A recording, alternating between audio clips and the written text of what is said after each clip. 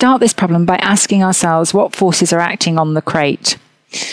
As shown on this screen now, there's the force of gravity acting downwards, which is 50g, and then there's the um, force of friction acting upwards along the slope. Notice that I've drawn a set of coordinates on the screen there. I've chosen the x direction to be parallel to the slope and the y direction to be perpendicular to the slope.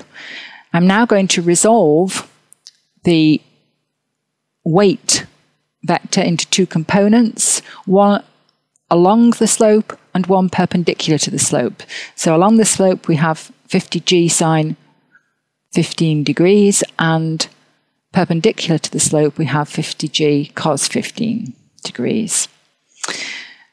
We're now in a position where we can draw our free body diagram, which is shown on the screen now, where I've also included now the normal reaction force N acting between the crate and the slope.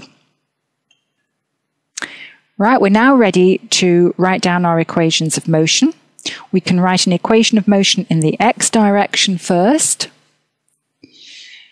The resultant force in the x direction, taking the positive direction as down the slope, is 50g sine 15 minus the frictional force F subscript F. The frictional force we know is equal to the coefficient of kinetic friction times the normal reaction force N. We'll leave that for the moment and we'll now go and look at the equation of motion in the y direction. In the y direction, we have the resultant force is equal to n minus 50g cos 15 degrees. Now there is no acceleration in the y direction, so that becomes equal to zero. And therefore, we have an expression for n as 50g cos 15. Going back to the um, equation for the friction force F subscript F, we now substitute that value or that expression for n into that equation, which gives us the equation shown on the screen now, and I'm going to call that equation 2. We now substitute equation 2 into equation 1, which gives us that m ax is equal to 50g sine 15 minus 0.4 times 50g cos 15.